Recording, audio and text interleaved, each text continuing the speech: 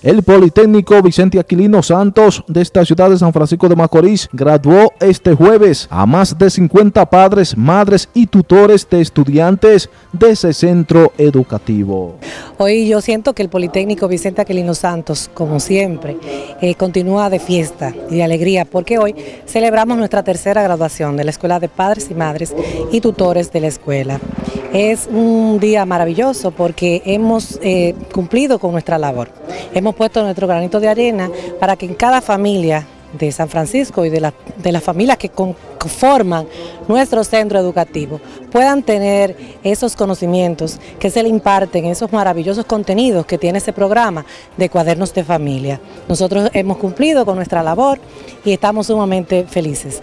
Eh, destacar la labor grandiosa que realiza el Departamento de Orientación y Psicología, que son las encargadas de poner en marcha este proyecto. Graduación como única porque que tenga yo conocimiento, no conozco ninguna escuela que haya envuelto a los padres de esta manera con sus hijos.